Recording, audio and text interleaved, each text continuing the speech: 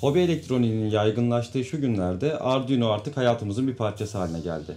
Arduino'yu uzaya göndermeye çalışan da var, Arduino ile elbisesini süsleyenler de. Ben de neden fotoğraf makinemi Arduino ile hackleyip daha fazla özellik kazandırmayayım diye düşündüm ve bu kartı tasarladım. Bu videoda bu kartların gerçek bir ürüne dönüşmesinin hikayesini izleyeceksiniz. Bundan önce şunu belirtmeliyim ki bu videonun çekimi 10 günden fazla zamanımı aldı. Bu kartın tasarımı, prototip geliştirme süreci, test edilmesi, PCB'nin baskıya verilmesi, baskının gelmesi, geldikten sonra biraz sonra izleyeceğiniz bütün bu sürecin çekimi 10 günden fazla zamanımı aldı. Ben bu videoyu hazırlayıp sizlerle paylaştım. Sizler de videoyu beğenip yorumlarınızı benimle paylaşırsanız sonraki videolar için bana destek olmuş olursunuz. Hemen başlayalım.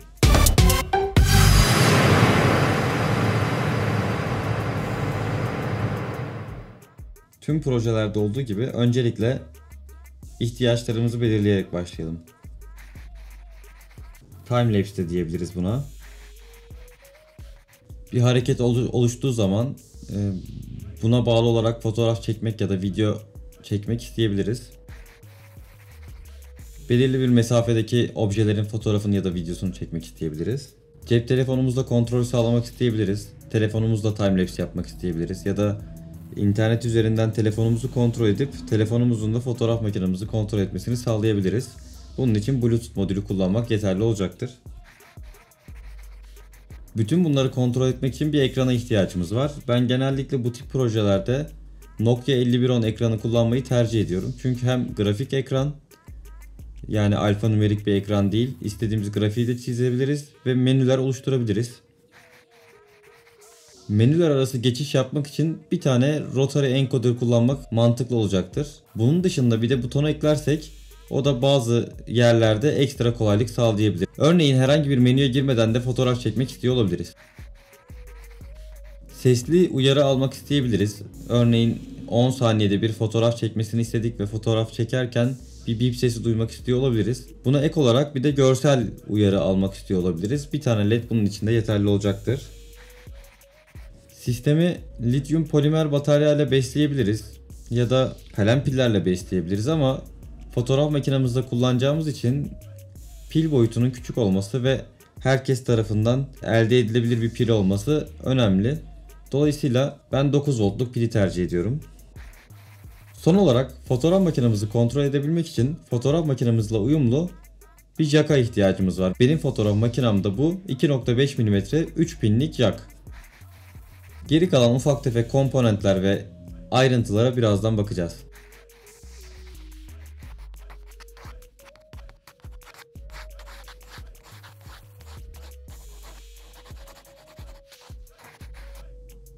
Tasarımımızın büyük bir kısmı bitti. Şimdi PCB tarafına geçelim.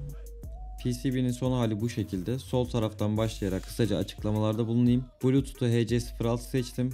4 pinle çalışıyor bildiğiniz gibi. Şu an Arduino'nun 0 ve 1 numaralı pinlerine bağlı. Şu arka tarafa geçersek daha iyi göreceğiz buradan. 0 ve 1 numaralı pinlere bağlı. Yani hardware serial kullanacak. Yukarı tarafta 2 tane optokuplör ve 2 tane 330 ohmluk direnç var. Bunlar kameranın shutter ve fokus pinleri için. Yani 2.5 mm'lik jack'ı buraya lehimleyeceğiz. Daha sonra burada HC-SR04 bağlantısı için pinler bıraktım.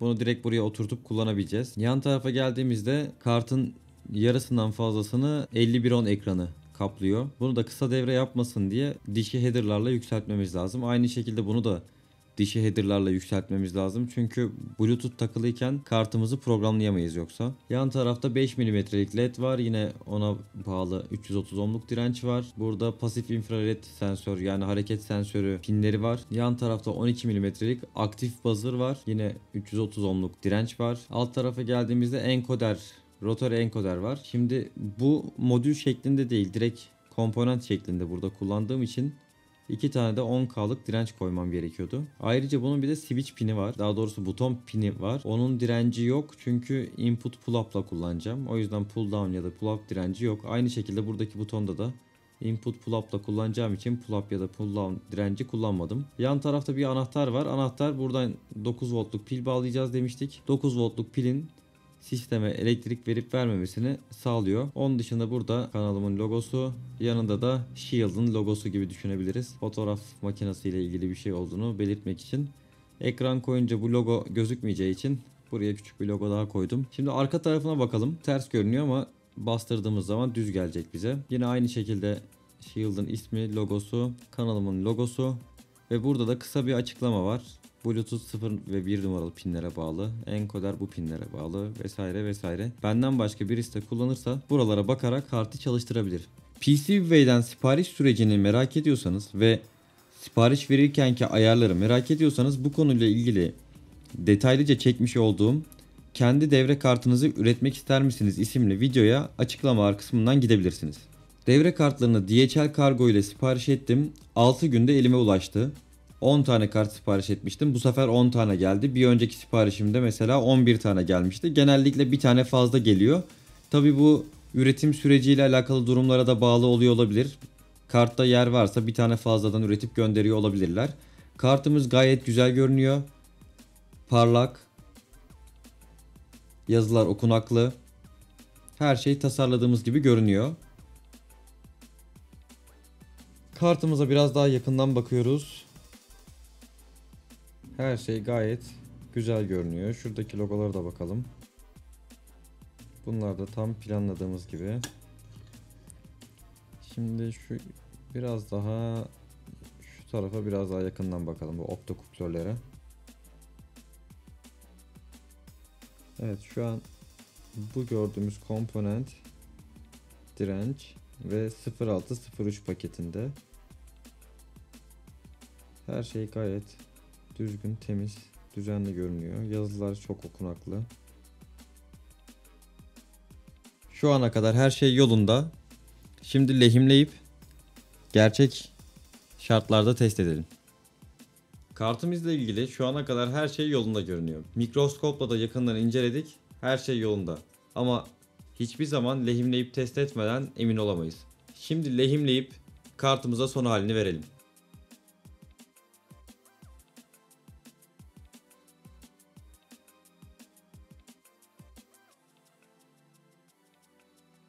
Lehimleme işlemimiz bitti. 2,5 mm'lik yakımız burada. Onu daha önceden kullanmadığım bir tane 2,5 mm'lik kulaklıktan söküp bu şekilde 3 tane kabloyu lehim yaptık. Bir tanesi shutter, bir tanesi focus, bir tanesi de toprak. Enkoderimiz burada. Bir tane 12 mm'lik butonumuz burada. 12 mm'lik buzzer'ımız, 5 mm'lik ledimiz ve pasif hızlı sensörümüzün girişi. HCSR 04 girişi, Bluetooth girişi, ekran girişimiz burada. Arkasına bakalım. 9 voltluk pil yuvası.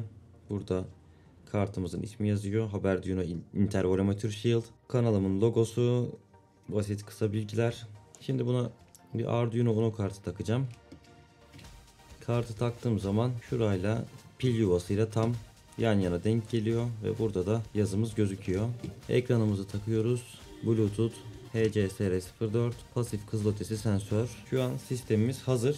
Yapmamız gereken sadece yazılımları yüklemek, yazılımları yapmak. Tabii ben buradaki bütün özellikleri tek seferde çalıştıran bir yazılım yapmayacağım. Bu video için çok fazla, çok uzun bir yazılım olur. Birkaç tane özelliği göstereceğim. Bundan sonrası insanların hayal gücüne kalmış. Ne isteniliyorsa eklenilebilir.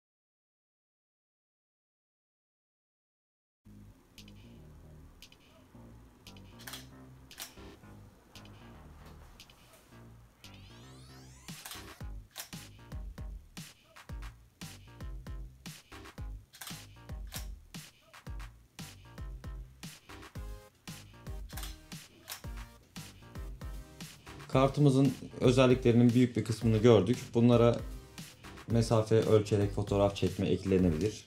Onun dışında hız ötesi sensör eklenerek fotoğraf çekme özelliği eklenebilir. Daha da geliştirilebilir. Örneğin yıldırım düşünce fotoğraf çekmek gibi ya da özel bazı durumlarda ya da özel bazı zamanlarda fotoğraf çekmek gibi özellikler eklenebilir.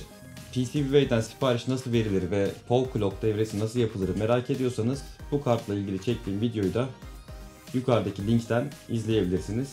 Bir sonraki videoda görüşmek üzere, hoşçakalın.